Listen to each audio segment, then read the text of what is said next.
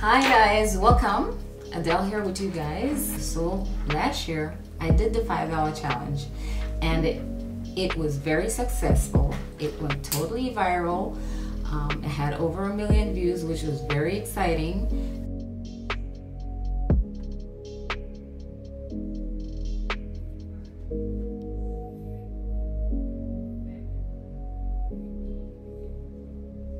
Last year, 2017, I saved a total of $3,500, which was awesome. So I decided to go ahead and do it for 2018. I want to see how much I did. Um, the challenge is composed of uh, whatever $5 you come across for the year, you will have to save that $5.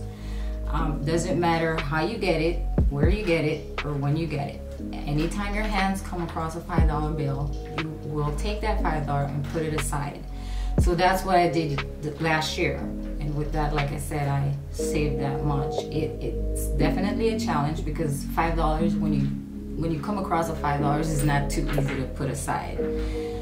Um, so this year I did it for those of you who saw the video and wanted to join in, this is the outcome of this year's um, savings. So I'm gonna go ahead and uh, count that out. I do have my little bag here from last year that I had put, I started out with nine $5 in it for last year. I usually start this process on the 1st of July, uh, January and I go through all year until like the 27th of December I count out and then I start again. From the 27th then I start on the 1st of January officially and then I go from there. So with that said let's jump right into it and count these bad boys out. See how much I have. This is pretty exciting you know? It's a bunch of five dollar bills I'm gonna save my little bag again for this next year savings. So, that said, here we go.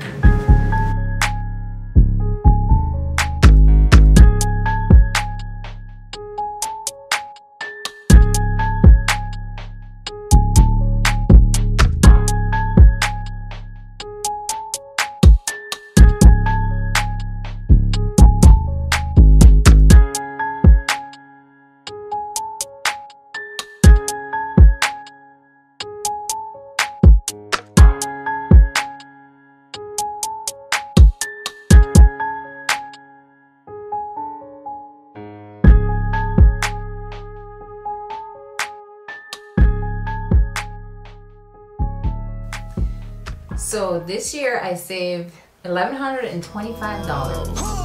I be ballin' like a goddamn pro. Like a, like a, I be ballin' like my brother Mo.